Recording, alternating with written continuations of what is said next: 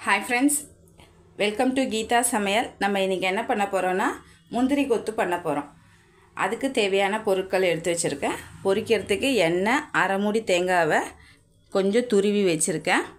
அதுக்கப்புறம் ஒரு இரநூறு கிராம் பச்சை பயிறு ஒரு கப்பு பச்சரிசி மாவு ஒரு கப்பு வெல்லம் மைதா மாவு ஒரு மூணு ஸ்பூனு ஒரு கால் ஸ்பூன் வந்து உப்பு மஞ்சத்தூள் ஒரு மூணு ஏலக்காய்.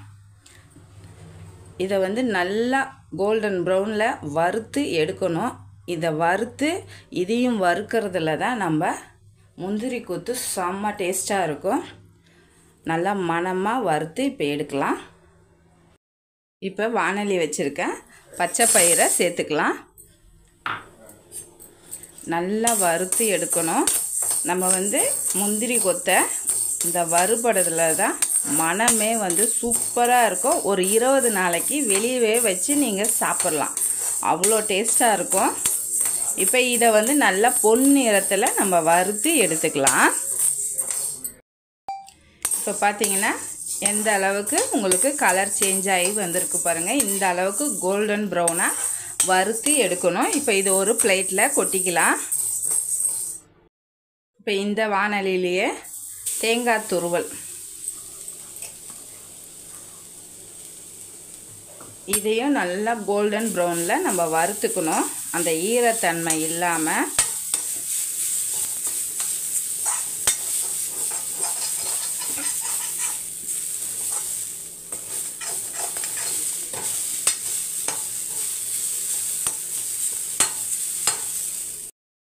இப்போ பாருங்கள் இந்த அளவுக்கு நம்ம வறுத்து எடுத்துக்கணும். நல்லா உதிரியாக இருக்கணும். அப்போ தான் நல்லாயிருக்கும். எந்த கப்பில் நம்ம பச்சை பயிர் எடுக்கிறோமோ அந்த கப்பில் எல்லாத்தையும் ஒரே மாதிரியே அளந்துக்கோங்க. தேங்காய் வெல்லம் பச்சை அரிசி மாவு. சூப்பராக இருக்குது பாருங்கள் இது. இப்போ இதையும் ஒரு பிளேட்டில் கொட்டிக்கலாம். நம்ம வந்து ஒரு கப்பு வெல்லத்தை கரைச்சி எடுத்துக்கலாம். கொஞ்சம் பிசு பிசுப்பு தன்மை வேணும். ஒரு கப்புக்கு கால் கப்பு தண்ணி ஊற்றிக்கோங்க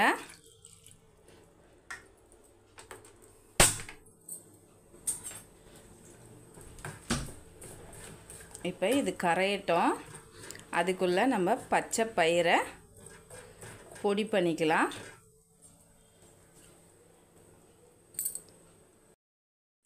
இப்போ பச்சை பயிரை சேர்த்துக்கலாம். அது கூடயே மூணு ஏலக்காவையும் போட்டு நல்லா ஒரு எயிட்டி பர்சன்ட்டு பொடி பண்ணி எடுத்துக்கணும்.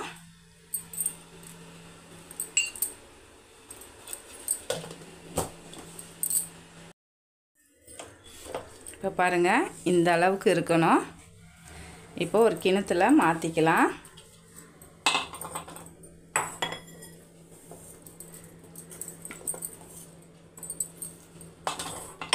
மாற்றிட்டு இதிலே தேங்காய் துருவல் சேர்த்துக்கலாம். நீங்கள் இது போல் நல்லா ட்ரையாக கோல்டன் ப்ரௌனில் மணமாக வறுத்து எடுத்தீங்கன்னா தான் ஒரு இருபது நாள் ஆச்சு. நீங்கள் வெளியவே வச்சு சாப்பிட்லாம். டேஸ்ட்டு சூப்பராக இருக்கும். இப்போ இதை மிக்ஸ் பண்ணிடலாம். மிக்ஸ் பண்ணி வச்சுட்டு வெள்ளைப்பாவு நம்மளுக்கு அங்கே ரெடி ஆகிட்டு இருக்கு.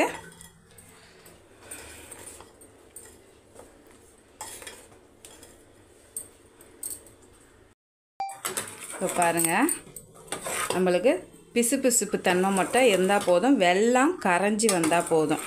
இதில் மண் இருக்குது நல்லா நர நர நரன்னு கேட்குது நம்ம வடிகட்டிக்கலாம். இப்போ இது போல் இருந்தால் போதும். ஒரு கப்பு வெள்ளத்துக்கு கால் கப்பு மட்டும் தண்ணி ஊற்றுங்க கரெக்டாக இருக்கும். பாருங்கள் வெள்ளைப்பாவு வந்து நம்ம மிக்ஸ் பண்ணும் போது பூர்ணத்து கூட கொஞ்சம் ஹீட்டாக இருக்கணும். அப்போ தான் நம்மளுக்கு உதுராமல் நல்லா வரும். இப்போ இதை ஸ்டவ் ஆஃப் பண்ணிடலாம். கொஞ்சம் ஆறட்டும். ஆறினோடனே நம்ம சேர்த்துக்கலாம். இப்போ வந்து வடிகட்டி கொஞ்சம் கொஞ்சமாக சேர்த்துக்கோங்க. எப்பயுமே வந்து பாகு வந்து கொஞ்சம் சூடாக இருக்கணும். அப்போ தான் வந்து நம்மளுக்கு கரெக்டாக இருக்கும். ஃபஸ்ட்டு இதை மிக்ஸ் பண்ணி பார்த்துக்கலாம். அதுக்கப்புறம் அதை சேர்த்துக்கலாம்.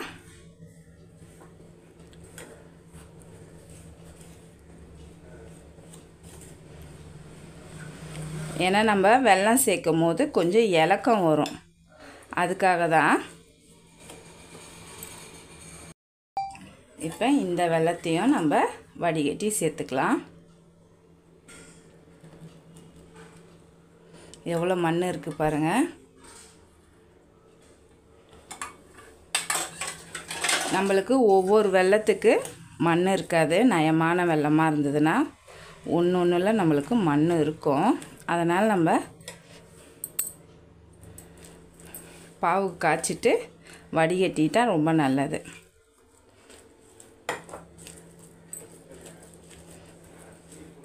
கொஞ்சம் இலக்கமாக இருந்தால் தான் நம்ம உருண்டை பிடிச்சி வைக்கும் போது கெட்டிமாக ஆகிடும்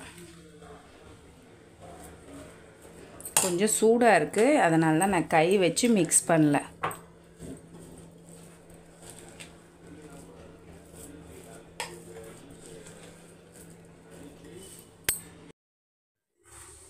இப்போ பாருங்கள் கரெக்டான பக்குவத்தில் இருக்குது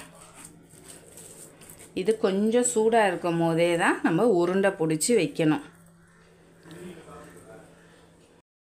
இப்போ வந்து சின்ன சின்ன உருண்டையாக பிடிச்சிக்கோங்க.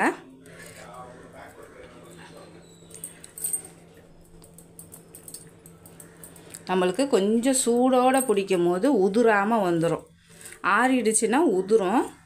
எவ்வளோ இலக்கமாக நீங்கள் பிணைஞ்சால் கூட அதனால தான் நீங்கள் கொஞ்சம் உருண்டை பிடிச்சி ஒரு பத்து நிமிஷம் கால் ஹவர் கொஞ்சம் ஆற விட்டுருங்க. அப்போ தான் கொஞ்சம் கெட்டியமாக இருக்கும். நம்ம மூணுத்தையும் ஒன்றா பிடிச்சி போடும் போது ஈஸியாக இருக்கும்.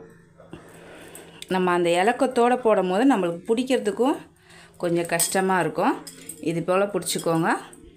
இப்போ நான் எல்லாத்தையும் அதே போல் பிடிச்சிட்டு பார்க்கலாம். இப்போ மூணு மூணாக நான் செட்டு செட்டாக அழகாக அப்படியே வச்சுட்டேன். ஏன்னா எடுத்து போடுறதுக்கு ஈஸியாக இருக்கும். நம்மளுக்கு ஏழு செட்டு வந்திருக்கு. மொத்தம் இருபத்தோரு பால்ஸ் வந்திருக்கு. இது ஒரு பக்கம் ஆறட்டும். அதுக்குள்ளேயே நம்ம மாவை மிக்ஸ் பண்ணி எடுத்துக்கலாம். அதுக்கு ஒரு கிண்ணத்தில் பச்சரிசி மாவு ஒரு கப்பு சேர்த்துக்கோங்க. நல்லா வறுத்த மாவாக இருக்கணும். அப்போ தான் நம்மளுக்கு நல்லா மொறு மொறுன்னு பொறு பொறுன்னு வரும்.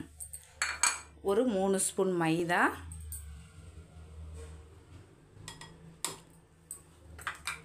இதில் கொஞ்சம் உப்பு ஒரு கால் ஸ்பூன் மஞ்சத்தூள் போட்டு மிக்ஸ் பண்ணி எடுத்துக்கோங்க. ஃபஸ்ட்டு கொஞ்சம் தண்ணி ஊற்றி மிக்ஸ் பண்ணிக்கோங்க. கொஞ்சம் கூட பபுள்ஸ் இருக்கக்கூடாது.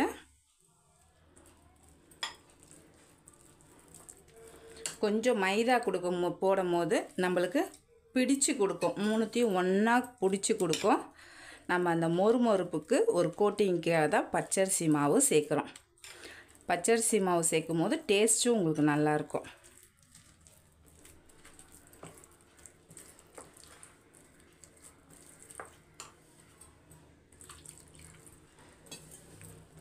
பபுள்ஸ் இல்லாமல் மிக்ஸ் பண்ணி எடுத்துக்கலாம்.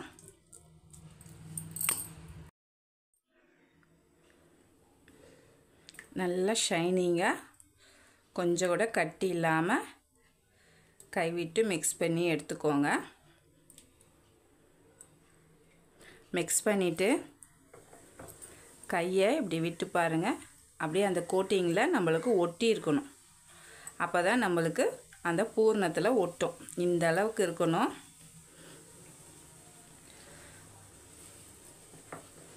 இப்படி பாருங்கள் இந்த அளவுக்கு இருக்கணும். இப்போ நம்மளுக்கு மாவு ரெடி ஆயிடுச்சு. நான் ஒரு பக்கம் எண்ணெய் ஊற்றி வச்சுருக்கேன். ஹீட் ஆகட்டும். இப்போ வந்து நம்மளுக்கு எண்ணெய் காஞ்சிருச்சு. மாவு வந்து நல்லா மிக்ஸ் பண்ணிக்கோங்க. மிக்ஸ் பண்ணிவிட்டு அப்படியே அந்த மூணை பிடிச்சா மாதிரி இப்படி எடுத்துக்கோங்க. எடுத்துட்டு இப்படி முக்கிக்கோங்க. அவ்வளோதான் ஒரு ரெண்டு டைம் முக்கிட்டு அப்படியே ஒன்றா போட்டுருங்க. அவ்வளோதான் அதே போல்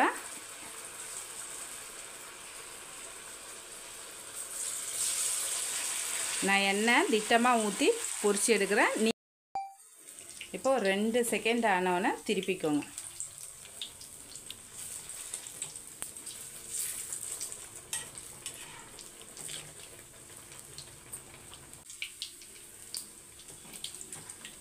எவ்வளோ சூப்பராக வந்திருக்கு பாருங்கள்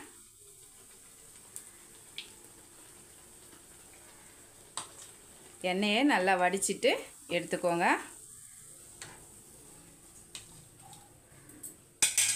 இப்போ மிச்சம் இருக்கிறதையும் இதே போல் நான் சுட்டு எடுத்துகிட்டு உங்களுக்கு மொத்தமாக வச்சு பிளேட்டில் வச்சு காட்டுறேன். சூப்பராக முந்திரி கொத்து செஞ்சோம். நல்லா வந்திருக்கு. நீங்களும் ட்ரை பண்ணி பாருங்கள் வேணும்னா நீங்கள் தனித்தனியாக கூட பொரிச்சு எடுத்துக்கலாம். சூப்பராக இருக்கும். கண்டிப்பாக சின்ன பசங்களுக்கு செஞ்சு கொடுங்க. பச்சை பயிறு ரொம்ப உடம்புக்கு நல்லது. இந்த வீடியோவை முழுசாக பாருங்கள் லைக் கொடுங்க. ஃபேஸ்புக்லேயும் இன்ஸ்டாகிராம்லேயும் ஃபாலோ பண்ணால் மறந்துடாதீங்க.